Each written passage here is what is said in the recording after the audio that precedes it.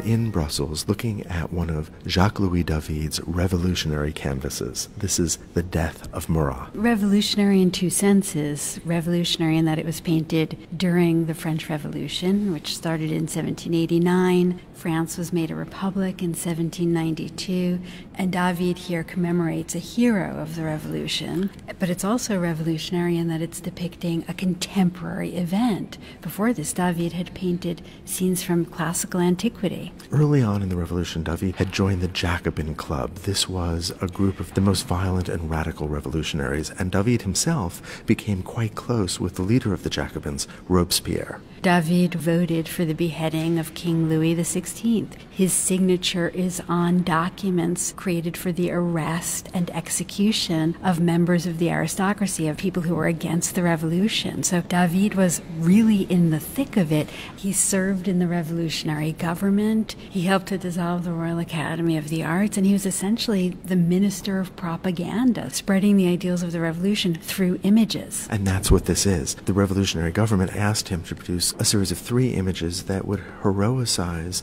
new martyrs, not a Christian martyr, but now a martyr to the revolution. This shift from Christian martyr to political martyr is an important one. We have the beginnings of the end of the world of the monarchy, of the Ancien Regime, of an absolutist ruler, and the beginnings of a new republic, the beginnings of a world where the people participate in the government. The French Revolution had been inspired, at least in part, by the American Revolution just a few years earlier, but France would oscillate between Republican and Royalist governments over the next century. A Royalist named Charlotte Corday, a woman who believed in the monarchy of absolutist rule, went to see Marat, the leader of the revolution, and by tricking him, murdered him in his bathtub. You can see the knife which she used to stab him lying on the bottom left corner of the canvas, and the letter that she used to gain entrance being held by Marat. He was a publisher so his role in the revolution was important because he helped to disseminate revolutionary ideas and to rally the people. He holds this letter that she used to get in to see him. David is showing, look at how duplicitous this woman was. She tricked Marat. He was innocent. He was good. He was working for the Republic, for the French Revolution, and she came in and brutally stabbed him. There is this extreme contrast between her duplicity and his nobility. He's ideally beautiful. We know that he was disfigured by the skin disease that caused him to spend many hours of each day in the bath,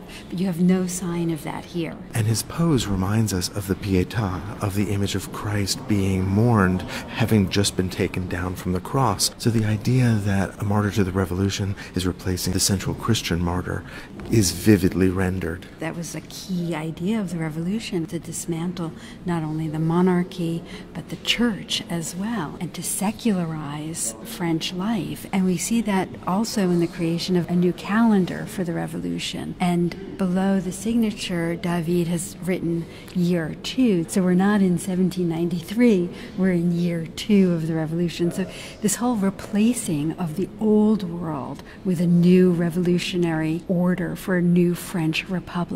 The idea of rationalism was being violently instituted. Instead of the older traditional measurements, for example, this is when we first have the more rational metric system being introduced. This is the Enlightenment. This is a time of rational thinking, of believing in empirical observation over the superstitions and traditions of the church. And this is a painting that is all about observation. This is really interesting contrast between the specificity of the foreground, especially the crate on which he's written his name and written Ah Marat to Marat, against the indeterminate open brushwork of the background that almost doesn't look finished. It's got this soft, feathery, warm quality. It isolates Marat, it focuses our attention on him. But as we look around at other paintings in this museum, what I see in the upper part of a painting are angels, and David can't have that anymore, and a new iconography has not yet developed.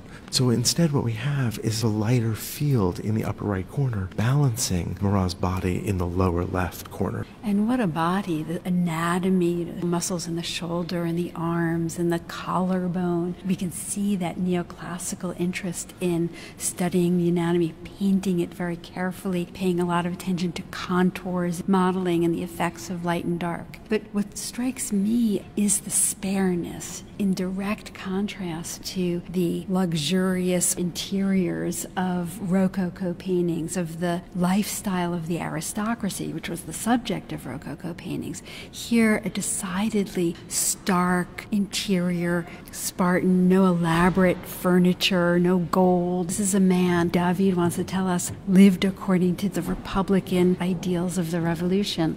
And it looks like they will endure forever. But soon the revolutionaries will turn against each other. And David is imprisoned for his involvement in the revolution and then becomes first painter to Napoleon, who becomes the emperor of France. And so a lot of art historians look at David's career and say, where were his actual principles? Where were his loyalties? Did he truly believe in the ideals of the revolution and then become a follower of Napoleon and abandon those values? Or was he politically mercenary? Was he really looking for commissions from whoever was in control at that moment? It's hard to look at the death of Marat and not see a man who was convinced of the importance of revolutionary ideals.